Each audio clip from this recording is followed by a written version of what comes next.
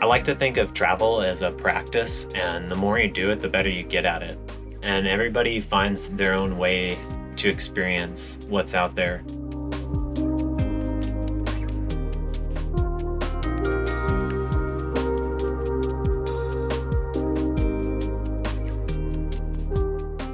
This is my 2002 F350 ambulance. I've been working on it for the last eight months, and it's completed as of yesterday. I bought it about two years ago, did a couple trips, got a feel for the layout with my wife and son. It's two wheel drive. A lot of people like to get the four wheel drive and make an overland vehicle out of them. I think mostly we'll just uh, do highways, and then honestly, my off road machine is a bicycle. So we carry those on the back, and if I need to go adventuring, I'll take the bike out there. So we'll start with the outside tour, and then we can kind of move inside and check out the lay of the land inside. We'll start with the cab, where we drive. I'm really happy. A lot of the ambulances are a van, and I wanted the truck chassis. I don't really like just the way the van seats are, and this is a little bit longer, but it's easier to work on having a full size hood. I had a few awkward experiences at people's houses uh, where the neighbors would run up and think that the ambulance was uh, coming to pick up their neighbor. And it's like, no, no, no, it's okay. It's just my ambulance. So I decided to remove the lights, and that's been a good call. Got shore power. Um, I decided to keep that. We've got our propane water heater, propane tank, garbage can, this is a double vented container, so the propane can drop out the bottom and the heat from this can come out the top. Used to be the oxygen tank. This is my water system. 40 um, something gallons of water. As far as water systems go, it's pretty unimpressive and bare bones. This one here um, used to be a full-size container and I have cut out a large portion of it uh, for interior space, but we still have this exterior area. Um, my air conditioner vents out here, so if I want to have air conditioning, I just leave this open and I can run the AC for a few hours off of my solar system, but mostly it's there when I want to plug in to a campground. Back here, I've got my bike rack. One of my favorite features of the ambulance and these really, really cool blinkers. I love the arrows on them. I just love some of the silly little things that they spend money on for the ambulances. Um, they just put so much time and effort into making these great vehicles. This one here is my electric cabinet. It used to be a full size, uh, but I decided to take a bunch out for the interior. I've got 400 amp hours of lithium iron phosphate batteries DC to DC charger, shore power charger, 50 amp solar charge controller, and 500 watts of solar power.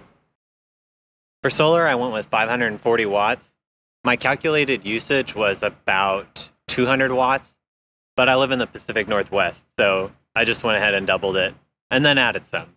This is the fun cabinet helmets and blocks and air compressor and tools and stuff will go in there. So that's just a exterior storage. And the last one has also been modified for interior space, but I still have a little bit left over in the bottom.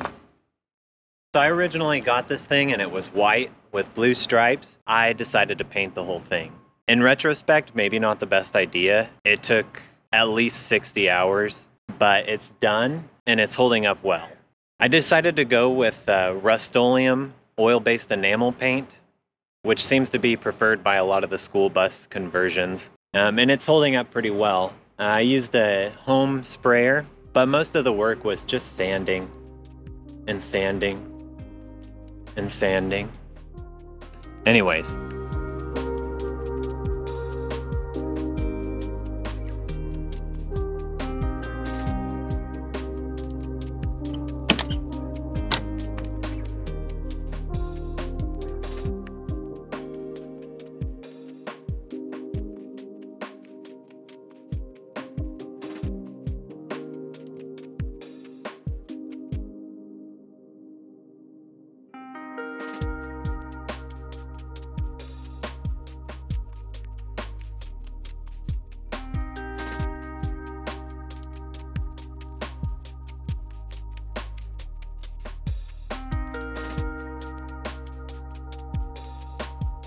This is for my son's toys. Gotta bring toys. This is our tabletop.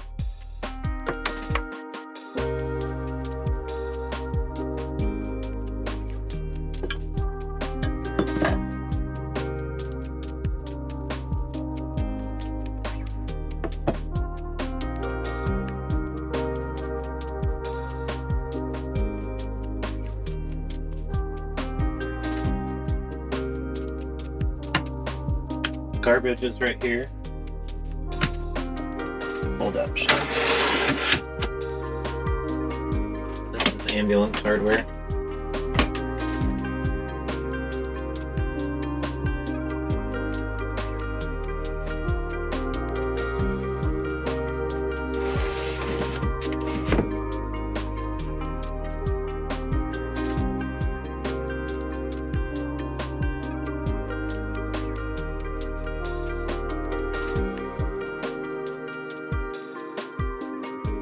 Shoe storage.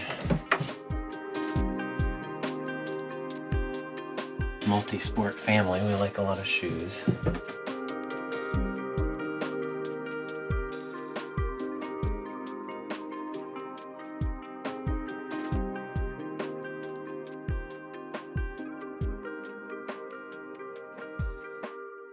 In our previous build, we didn't have any ventilation for our son's bed. For this build, I've situated his bed in a place where there's a vent and when I turn the exhaust fan on, it actually draws cold air in through the vent and circulates air in his bed. Um, I'm really proud of that feature. I've spent a lot of time bicycle traveling, and my wife has joined me on a few of those trips. But the introduction of our little one just seemed a bit intimidating for that type of travel. We bought the ambulance after having tried a travel trailer and the ambulance really ticked a lot of boxes that we learned that we needed. We live in the Pacific Northwest and it rains a lot. And the travel trailer, I was always concerned that there would be a new leak and that we would have rot. The ambulance is all aluminum and it's crash tested. We intended to use it just for weekend getaways and maybe a couple shorter trips around Oregon, uh, just to make life with a baby a little bit easier we tried getting the travel trailer and decided that it didn't work for us and went with the ambulance. They're extremely strong and all the walls are straight. The vans have curved walls and the travel trailers are mostly made of wood unless you want to buy an aluminum one, um, which was quite a bit out of our price range. I'm also an avid DIYer, so this seemed like a really fun project to take on. It turned out to be a lot bigger of a project than I expected. I thought that I would be able to manage this in three or four months, and it took about eight. It was a lot of fun for me to build, but I would have to say that maybe this isn't a recommendable project for just anybody. Um, it really took a lot of time and a lot of energy. I was able to find a balance between obsessing over the details in this thing and just getting it done. This easily could have taken me two years you watch these 10 minute YouTube videos and you think, oh man, I can do that. That looks so cool. If you're interested in traveling, then go travel. Don't build an ambulance because that's just taking time and money away from your goal. But if you want to convert a van and you like doing things like that, then that's its own journey and that's okay. I think the most difficult parts of the build were running wiring before I had anything built and kind of anticipating where I might need wiring. I also rewired all the electronic door locks, which was a feat in itself, but it's really nice before bed just to click the switch and all the doors are locked inside and out. It's about nine locks, so it's pretty nice just to have the flick of a switch.